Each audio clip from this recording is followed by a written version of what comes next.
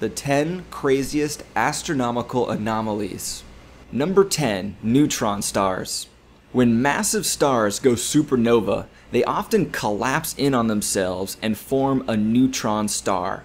These stars are super dense. Even though they're only a few miles across, they have the same mass as the Sun. Particles are ejected from the northern and southern poles of the star at nearly the speed of light. But one neutron star has astronomers scratching their heads. 10,000 light years from Earth is RCW 103. The spin of this neutron star suggests that it's several million years old, but it can't possibly be that old because this star went supernova 2,000 years ago. Astronomers still aren't sure how to explain this. Number 9. Aligned Polar Nebulae. A nebula is formed when a star emits ultraviolet radiation that ionizes a gas cloud. The result is visible light of many different colors. Just like in neutron stars, the ultraviolet light is ejected out of the north and south poles of the star. Deep in our own galaxy, there are several nebulae that are quite strange. When Hubble examined 130 of these objects, it found something pretty bizarre. All 130 nebulae in this region have the exact same axis meaning every single star is spinning the exact same way. Astronomers' best guess at how this could happen is that somehow they got caught up in each other's magnetic field. Number 8. The Great White Thunderstorm. Every 30 years, a white storm cloud forms in the northern hemisphere of Saturn. The storm is white because there's so much ammonia in the atmosphere, it begins as a small white dot, about half the diameter of Earth. But within only a few days, the storm cloud stretches across the entire length of the planet. Incredibly, one bolt of lightning in this white storm can stretch for 10,000 miles. There's a difference of about 140 degrees Fahrenheit between the inside and the outside of the storm, 140 degrees Fahrenheit is the difference between the hottest and the coldest places on Earth. Number 7. Planetary alignment. The possibility of alignment between planets in the solar system is very rare. Scientists estimate that the next time there's going to be an alignment will be in 2040, where you'll be able to see Mars, Mercury, Venus, Jupiter, Saturn, and the Moon all align at the same time. In the year 2021, there'll be a triangular alignment between Jupiter, Venus, and Mars. Just before Halloween, from October 24th to the 29th, the three planets will group together within a circle of diameter of 5 degrees. Number 6. The Suicide Comet. Comets are extremely difficult to spot in the sky. They're made from blocks of ice and rock, so they don't emit any of their own light. They also take really bizarre paths through the solar system. But in 2013, astronomers happened to turn their telescopes in the perfect direction at the perfect time to see a comet break apart in front of them. The comet spontaneously broke itself into about 10 different chunks.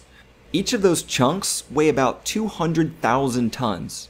Astronomers are still trying to figure out what caused this comet to break apart but astronomers are certain that it wasn't a collision because the different pieces of the comet are drifting away from each other at about 1 kilometer per hour, which in space is nothing. Number 5. The Messier 82 Supernova. Located in Ursa Major, this galaxy is about 11 million light years away. Supernovas are exceedingly rare to see. Only about 20% of supernovas are actually visible, some supernovas are so big that the explosion actually outshines the entire galaxy. The amount of energy released in a supernova is about the same as the amount of energy that's been released by the sun in its entire life, plus all the energy that it hasn't emitted yet. The force of the explosion is so great that the material that is expelled comes out at about 100,000 miles per second.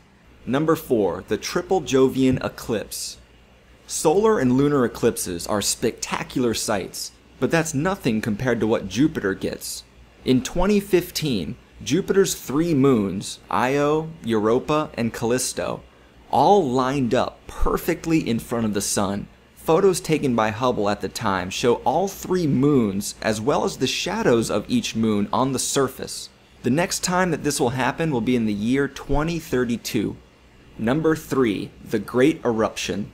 In 1838, the star Eta Carinae suddenly became the second brightest star in the sky, and it remained that way for 10 years before it slowly died away.